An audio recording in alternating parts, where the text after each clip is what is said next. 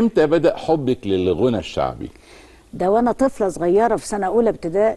آه. كنت بقرأ قرآن وبغني وبمثل. وأنا في أولى ابتدائي عندي ست سبع سنين. وبعدين؟ بس وبعدين عندنا بقى كالأنايات شرقية الأفراح كلها عائلات كلنا بنتجمع. آه. يعني الفرح لما كانوا يجيبوا لي كرسي تقفي الله عليه. ينور عليك. كان كرسي وبقف عليه عشان مش شايفيني قد كده. آه. زبلة ومش باينة من الأرض. بس فبقيت أغني بقى في الأفراح اتعرفت في البلد.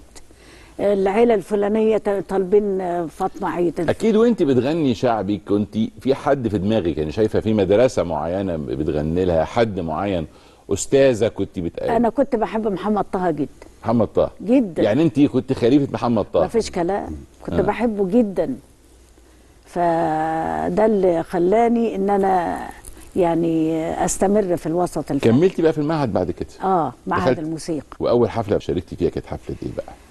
حفلة إيه يا شفيق؟ حفلة فكرني في سينما في في مسرح مسرح مسرح. الجمهورية. مسرح الجمهورية آه آه. كانت حفلة ك- يعني حفلة أول حفلة تلفزيون وبعدين بت- بتترعش ومخضوضة.